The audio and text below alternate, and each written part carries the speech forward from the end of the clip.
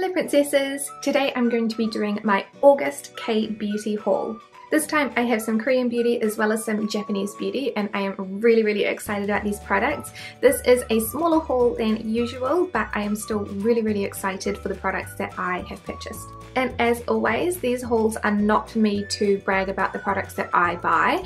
They're more so so that you guys can see what I've got and request reviews on the products that you are interested in. So the first product I bought were new contact lenses because I have run out of my other ones. So I decided to try a new brand which is Olens. So these are the Secriss One Day Soft Contact Lenses in Coral Grey and I'm wearing them today because I'm totally out of my other contact lenses. And I purchased these from Pink Icon, which I still think is a really bad name because pink eye is obviously an eye disease, but it's like pink icon, like an iconic person. Um, still not a fan of the name, but I got these ones. There are 20 lenses in the pack and they look really beautiful. They are quite natural and they're only 14.2 in diameter, but they also sent some free contact lenses as well. So get them right the wrong way. I didn't actually realize that they were going to send these because I didn't see any promo for it, but obviously I missed it so I got some free contact lenses which is awesome. These ones are Revia one day color lenses. They're in the color brown and actually they are lenses that I probably would have picked for myself as well and they almost came close to my prescription. They gave me 1.0 which is fine I can totally still wear those but they look really lovely. They're very plain simple just brown one day lenses which I prefer over yearly and monthly lenses because I wear them very irregularly so it's just as cost effective for me to be wearing daily lenses and they're much more hygienic. Now if you guys would like to hear more about these contact lenses do let me know otherwise I won't review them only because the reviews no one really watches them there's no point in me doing them if people don't actually want to see or hear about the product. The next place I made a purchase with was a New Zealand based Korean beauty retailer called Nashi Lab like the fruit and I bought some skincare from them because I desperately needed it so I got the Klairs Supple Preparation Facial Toner which I tried out a sample of recently and loved and I've already cracked into it because like I legitimately did need it and I am already loving it and I just in general do really like Klairs products.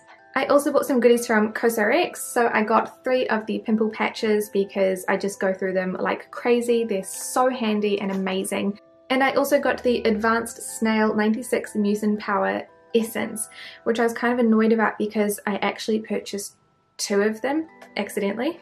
So I actually got another one from IBBI um, and I forgot that I'd purchased it from IBBI and because the shipping takes so long, like two weeks, it's not really that long, I actually bought another one from Nashi Lab.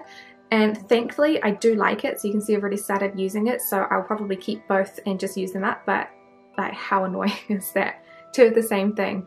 Stupid.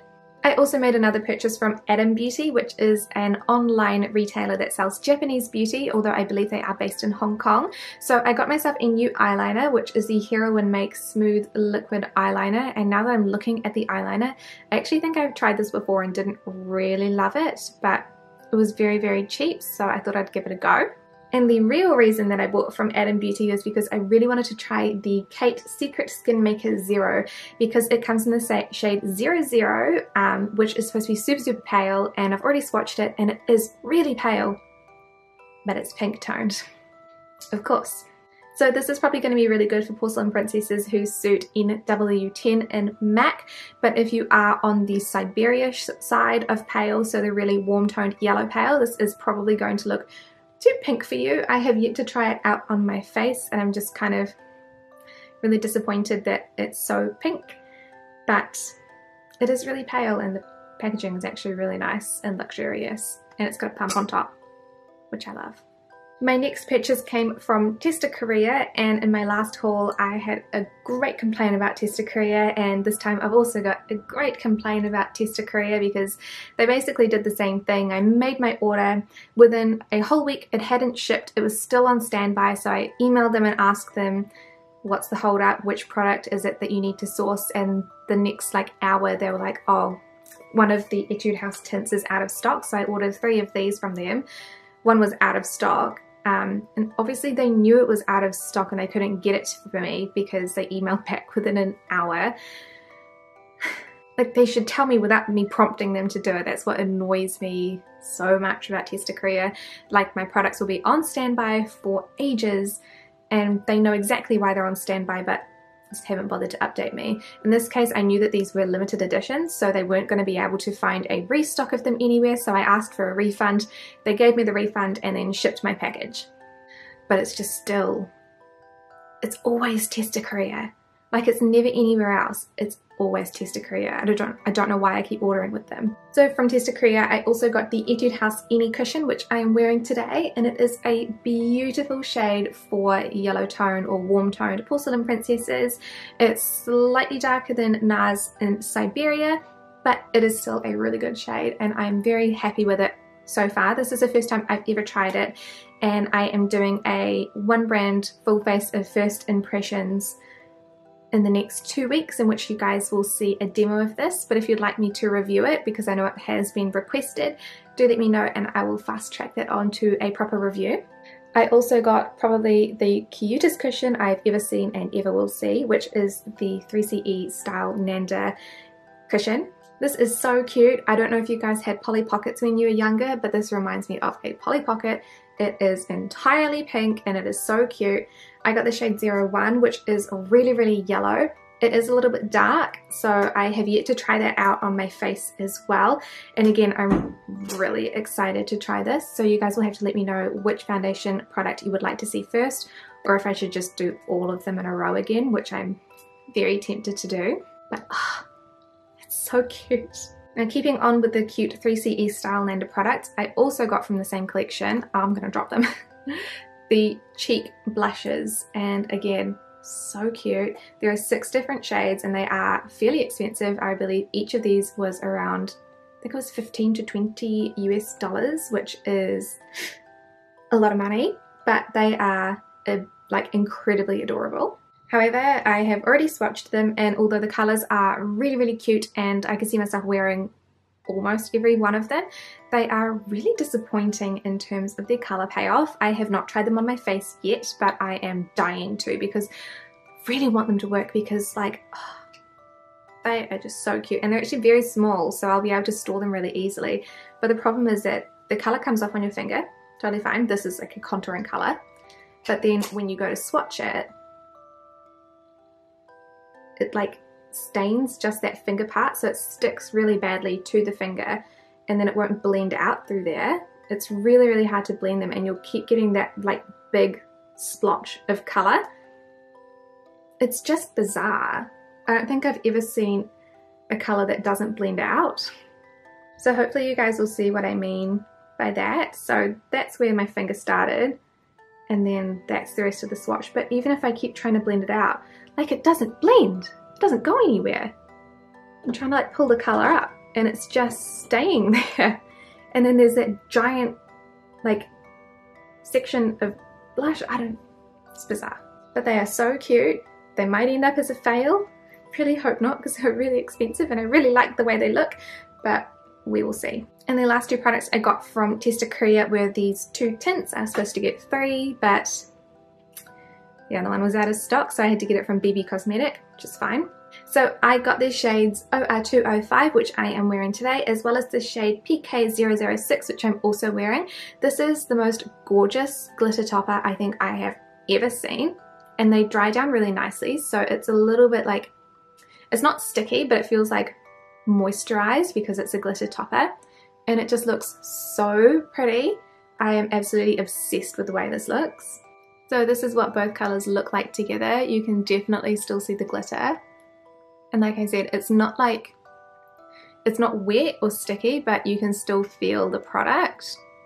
But that's just the glitter topper. The orange one actually dried down like non-sticky and matte, but I'm obsessed with the way these look. And my last haul is from IBBI, which I got pretty much all Etude House products and the Cosrx snail product as well. So I got my original bottle of this from IBBI and just forgot about it. I really need to write down my purchases so that I don't double purchase, but at least I like this. It's super lightweight, super nourishing and hydrating, and I can do a couple of layers of it as well without making my skin feel like gluggy. It is the most snail feeling product that I've tried in snail products. So usually when you have a product that has a lot of snail slime in it, it doesn't feel slimy or sticky or anything. This one does feel slimy.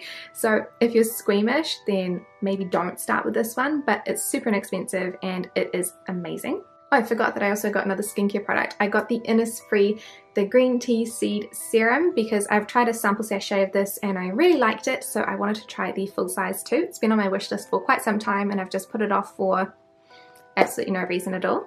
So for the Etude House products, I got the Etude House Sunprise Mild Airy Finish Sunscreen, which again I just tried today. I'm not super impressed with it.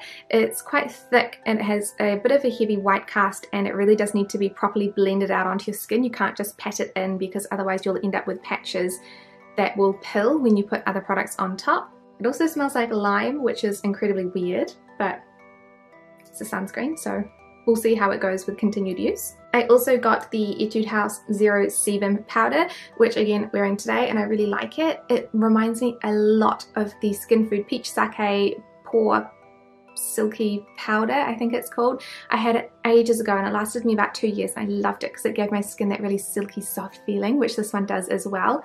I love it. It feels so nice. My skin is still matte so far. You'll see um, more of the first impression of this one later on as well in the next video. But so far I am a fan.